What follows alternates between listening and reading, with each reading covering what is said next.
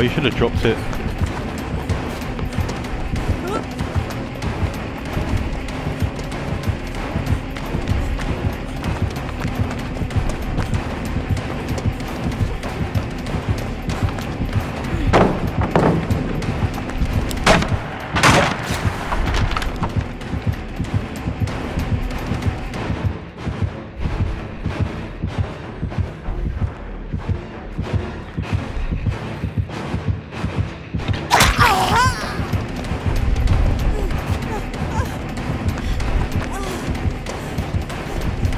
By a pallet.